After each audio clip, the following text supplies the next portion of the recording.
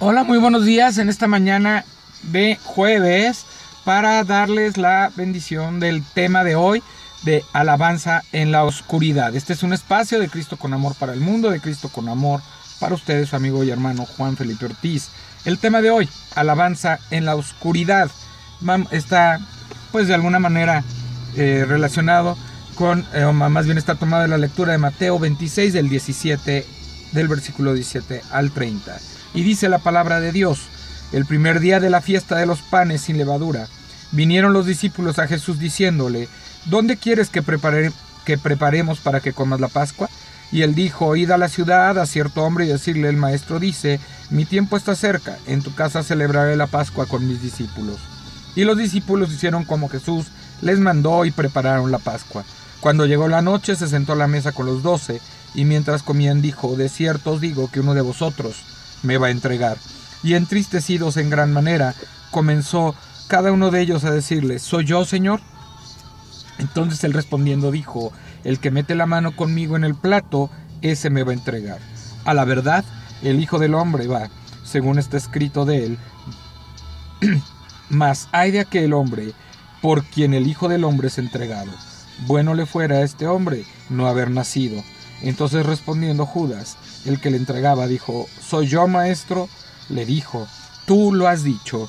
Y mientras comían, tomó Jesús el pan, y bendijo y lo partió y dio a sus discípulos y dijo, Tomad, comed, esto es mi cuerpo. Y tomando la copa y habiendo dado gracias, les dio diciendo, Bebed de ella todos, porque esta es mi sangre del nuevo pacto, que por muchos es derramada para remisión de los pecados. Y os digo que desde ahora no beberé más de este fruto de la vid, hasta aquel día en que lo beba de nuevo con vosotros en el reino de mi Padre. Y cuando hubieron cantado el himno, salieron al monte de los olivos. Fíjense, eh, es la institución de la cena del Señor. Es el momento, en el, el último momento en que van a estar juntos, junto con sus discípulos, que estará reunido, que estarán platicando, que estarán, que tendrán las últimas enseñanzas eh, con el maestro. Y el maestro está triste, el maestro pues verdaderamente le está, ya le ha llegado casi la hora y pues se siente, pues tiene que anunciar que alguien lo va a entregar, eh, anunciando que es Judas, ¿verdad? El que lo entrega y está en un momento muy triste, en un momento verdaderamente oscuro, un verdaderamente que, que está siguiendo la voluntad del Padre, pero que verdaderamente pues siente esa tristeza humana de dejar a los suyos y de que va a ir a la muerte. Es una, en eso también vivió la humanidad Jesús, en el sentir la tristeza porque ya no iba a estar, porque iba a morir y porque pues iba a ser entregado. también la decepción, ¿verdad? La frustración y la decepción de que iba a ser entregado por uno de los suyos. Así, vamos al versículo, eh, el versículo guía, eh, más bien a, la palabra guía es eh, Hebreos 13, 15.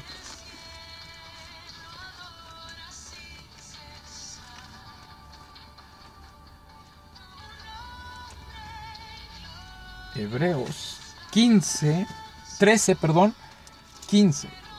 13, 15. Dice el versículo 15 de Hebreos 13, así que ofrezcamos siempre a Dios por medio de él sacrificio de alabanza, es decir, fruto de labios que confiesen su nombre.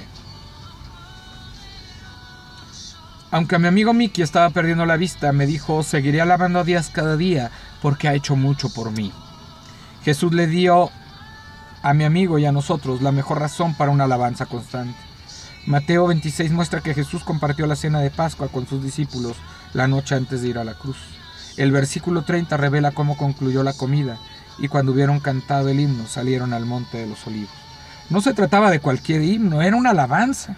Durante miles de años los judíos han cantado un grupo de salmos llamado el Jalel en Pascua. Jalel es la palabra judía para alabanza. La última de estas oraciones y cantos de alabanza que se encuentran en los Salmos 113 al 118 honra al Dios que se ha transformado en nuestra salvación. Se refiere a una piedra rechazada que se volvió la piedra del ángulo y a uno que viene en el nombre del Señor. Es posible que hayan cantado, este es el día que hizo el Señor, nos gozaremos y alegraremos en él. Al cantar con sus discípulos, Jesús nos dio la mejor razón para levantar la mirada por encima de nuestras circunstancias inmediatas. Nos guió a alabar al amor y la felicidad eterna de Dios. Siempre eres digno de alabanza, Señor, incluso cuando no siento deseos de alabarte. Alabar a Dios nos ayuda a recordar su bondad que no, que no acaba, que nunca acaba. ¿Verdad? Jesús alabó al Padre, Jesús obedeció a su Padre y Jesús le glorificó al Padre por medio de su obediencia y su amor. Esa fue la mejor alabanza que pudo haberle dado Jesús a Dios, su obediencia para perdón de los pecados y para que se cumpliera la voluntad del Padre. Es la mejor alabanza. Esa alabanza que dice aquí en el 118 del Salmo, vamos rápidamente a leerla. En el versículo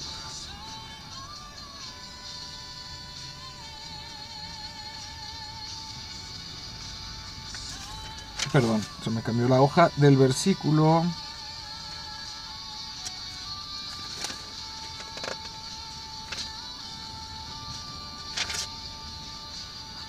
21 al 26. 118 del 21 al 26 para terminar con esta alabanza, con este salmo de alabanza a Dios. Te alabaré porque me has oído y me fuiste por salvación. La piedra que desecharon los edificadores ha venido a ser cabeza del ángulo. De parte de Jehová es esto, y es cosa maravillosa a nuestros ojos. Este es el día que hizo Jehová, nos gozaremos y alegraremos en él. Oh Jehová, sálvanos. Ahora te ruego, te ruego Jehová que nos hagas prosperar ahora. Bendito el que viene en el nombre de Jehová. Bendito nuestro Señor Jesucristo, que fue a la cruz, nos dio la salvación y le podemos alabar y bendecir, no solamente con música, con una canción, con un himno, con nuestra vida, con, con agradecimiento, con gratitud y con obediencia, sabiendo que tenemos que cumplir y guardar sus palabras. Que Dios le bendiga, que Dios le acompañe verdaderamente alabemos a Dios con nuestra vida, con nuestra boca y con nuestra mente.